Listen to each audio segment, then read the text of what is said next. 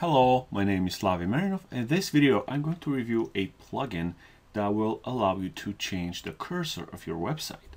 It's kind of interesting.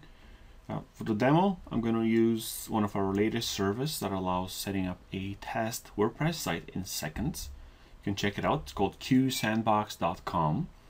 I'm already logged in. I can go to my dashboard and I have some sites that are set up here.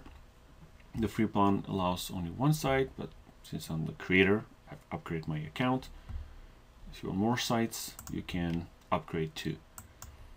So let's begin. Here, I'm going to install a plugin on the this website. Need to go to add new, for unique cursor. You can search for the plugins. Actually, one plugin. Can install it.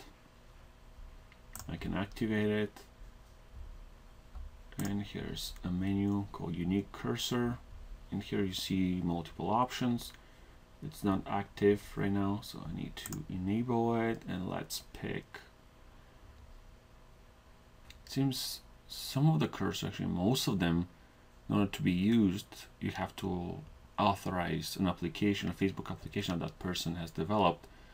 So let's pick this blue one and click save